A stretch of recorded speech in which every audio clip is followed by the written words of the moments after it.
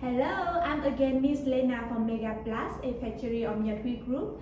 The use of filler masterbatch has increased over the last decade, and especially for PP filler masterbatch. PP woven already contribute to the large consumption of filler PP filler masterbatch. So, how exactly PP woven sector benefits from filler masterbatch? Let's find out on this video. PP filler masterbatch is a compound of calcium carbonate, PP, and additive. If you want to know more about filler masterbatch, please check this video. Depending on the requirement of PP woven, PP filler masterbatch will have to improve the performance of the production, such as increasing productivity, reduce the carbon footprint, or enhance the properties. And the most important thing is reduce production cost. We all agree with the benefits of PP filler masterbatch. So how should you filler masterbatch in the most effectively way? To achieve the best result while using filler masterbatch, all the manufacturing have to pay a high attention into following criteria. Denier is the measurement which is indicating the thickness of the fabric. This index will give us the clue how many percent of calcium carbonate should we load and the quality of filler masterbatch. The thicker it is, the more percent of calcium carbonate we can use. For example, our customer who has the denier very low, less than 700, they only can load around 50% of calcium carbonate. By contrast, if they produce the denier above 700, they even can load up to 40%. The extruder speed is a factor that determines the quality of filler masterbatch you should use.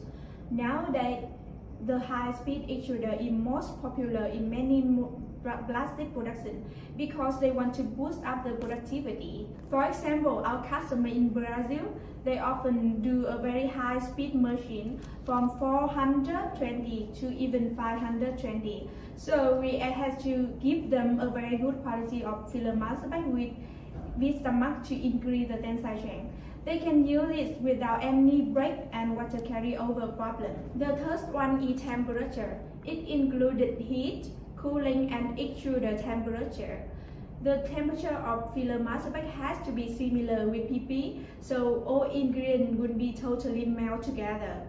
Our customer often run the machine from 170 to 270 degree. You can see here what our customer usually run in their machine. And finally is tensile strength. This index is the maximum material can load when being stretched.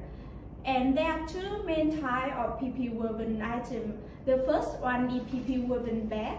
It is a small bag from 10 to 100 kilograms. The customer often use it for loading PP woven cement bag, rice bag, sugar bags, or animal feed.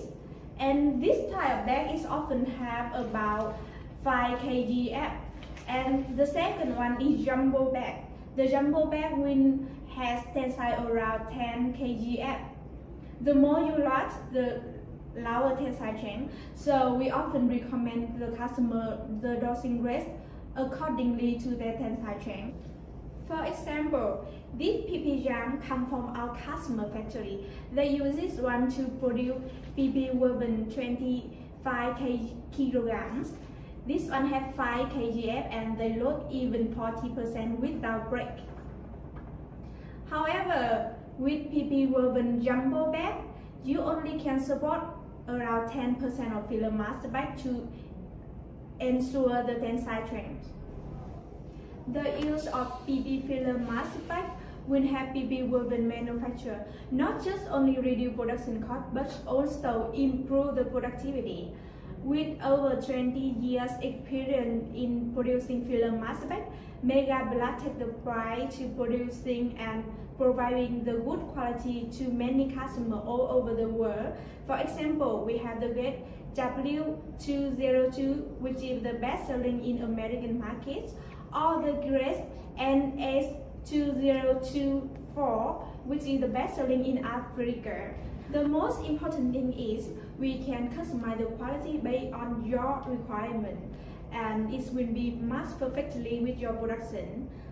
If you want to take a free sample, please contact us. I hope this video is helpful to you and see you in the next videos.